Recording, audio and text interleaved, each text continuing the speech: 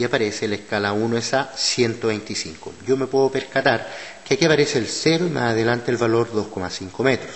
Por lo tanto, para efecto de contar, esta aumenta de 0,5 en 0,5.